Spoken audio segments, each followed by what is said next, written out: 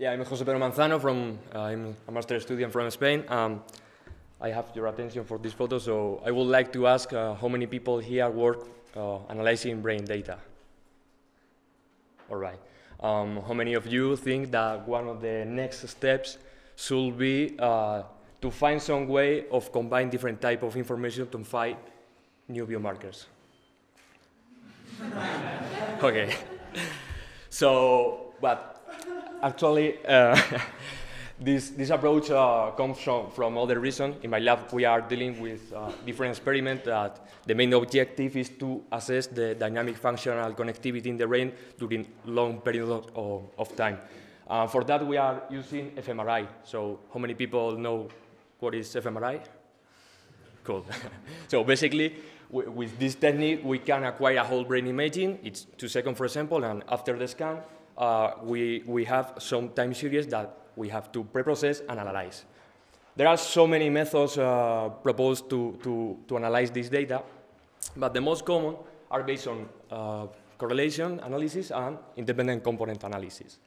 But um, however, uh, both methods have some important limitation in the assessing of dynamic functional connectivity. So my proposal is to apply a spiking neural network to analyze brain data.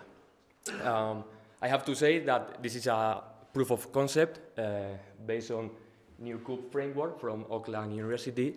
Um, in a very simple uh, explanation, we have temporal information and um, spatial information. So if we code all this information into same domain, in this case, spike trains, uh, maybe we'll be able to create a some platform for uh, combine different type of data and extract new results. So this is our network. We code uh, temporal information into spike trains and uh, spatial information into brain coordinates. And after that, uh, we have to perform an unsupervised learning to extract the evolution of the change of the weights, the links between neurons, and activity of, of neurons, etc.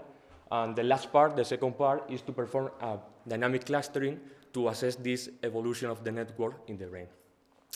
So I know I'm a beginner in this field. Uh, so um, actually the, the project is just starting, so I will be glad to receive in my poster. I don't know the number, but um, to receive uh, some... Number 24. Number 24. uh, yes, I will be glad to offer a cold call beer to some advices or, or critics. Thank you. Thank you.